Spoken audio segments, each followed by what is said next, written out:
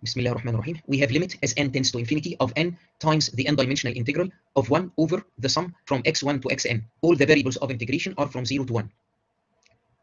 If alpha is strictly positive, we can write 1 over alpha as integral t from 0 to infinity of e to the minus alpha t.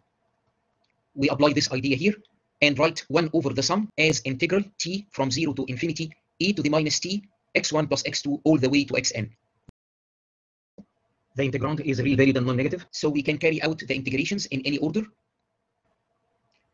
If we do the integrals first with respect to x1 to xn, all the integrals are equal to integral x1 from 0 to 1, e to the minus t x1. We can compute this integral and raise it to the power n.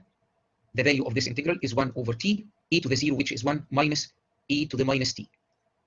The n-dimensional integral is equal to integral t from 0 to infinity of n, 1 minus e to the minus t divided by t all to the power n split this integral into an integral from 0 to 2 and another from 2 to infinity.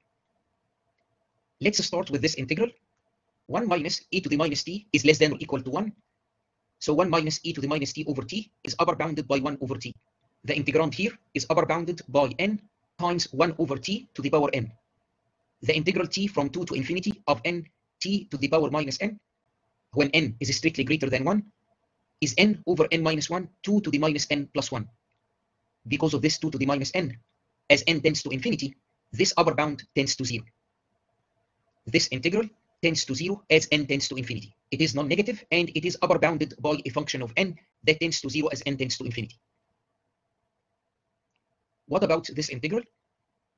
Let's do the Taylor polynomial of the function e to the alpha. The Taylor polynomial of differentiable function g of alpha about 0 is summation k from 0 to n the kth derivative of g evaluated at 0 divided by k factorial times alpha to the power k plus the derivative of order n plus 1 evaluated at zeta, where zeta is between 0 and alpha, alpha to the power n plus 1 divided by n plus 1 factorial. All the derivatives of e to the alpha are e to the alpha. These are equal to 1 when alpha is equal to 0.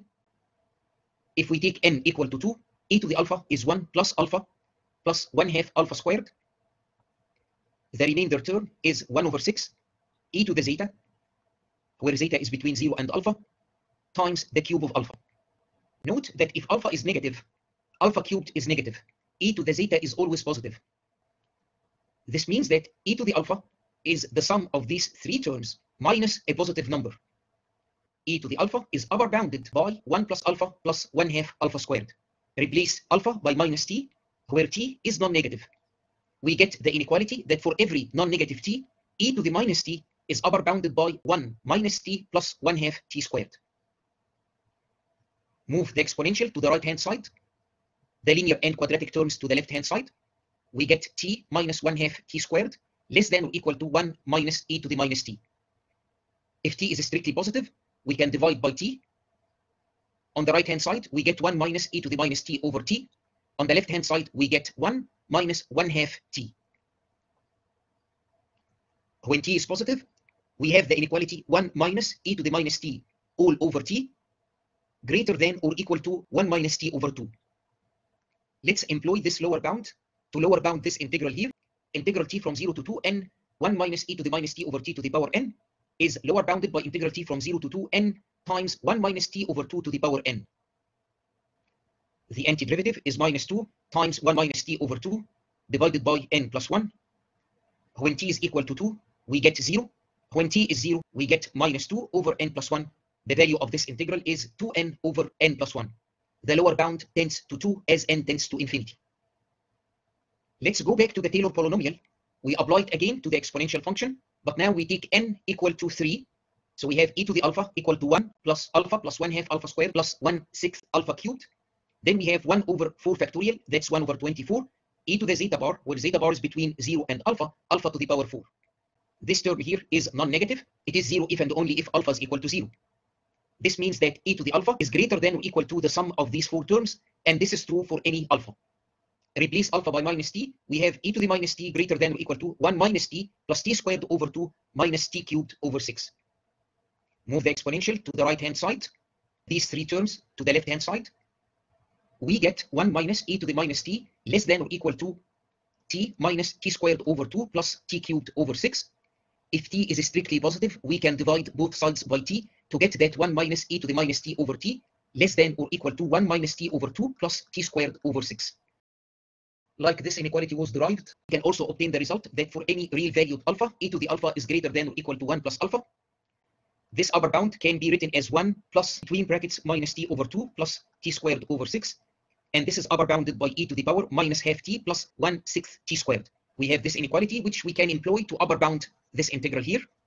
The upper bound is integral t from 0 to 2 n e to the minus half nt plus nt squared over 6. Let's do the change of variables. u equal to nt. When t is 0, u is 0. When t is 2, u is 2n. This nt becomes u. nt squared is u squared divided by n. n dt is du. I can write the integral over positive u in the integrand. I introduce this indicator function. This is equal to 1 if u is between 0 and 2n, 0 otherwise. This is the upper bound on the integral as a function of n. We need to take the limit as n tends to infinity. Can we interchange the order of limit and integration? In other words, can we take the limit inside, evaluate it first, and then integrate? To justify the interchange of limit and integration, we try to make use of the dominated convergence theorem. Let's try to upper bound the magnitude of the integrand by a function that does not depend on n, a function that depends only on the dummy variable of integration u. Note that u inside the integral is less than or equal to 2n. Multiply both sides by u, we get that u squared is less than or equal to 2un. Divide both sides by 6n, we get that u squared over 6n is upper bounded by u over 3. U squared over 6n minus u over 3 is non-positive. e to the power this quantity is less than or equal to 1. Multiply both sides of this inequality by e to the minus u over 2. Afterwards, multiply both sides by e to the power u over 3. On the left-hand side, we have e to the minus u over 2 plus u squared over 6n less than or equal to e to the minus u over 2 plus u over 3. An upper bound on this exponential here is e to the minus u over 6. The magnitude of the integrand is upper bounded by the indicator multiplied by the exponential. Now there is no n here. We just have e to the minus u over 6. Moreover, we can upper bound the indicator function by 1, and upper bound on the magnitude of the integrand is e to the minus u over 6. This upper bound does not depend on n, the variable with respect to which we are taking the limit. Moreover, if we integrate the upper bound from 0 to infinity, we get a finite result. We can apply the dominated convergence theorem. The limit of the integral is equal to the integral of the limit.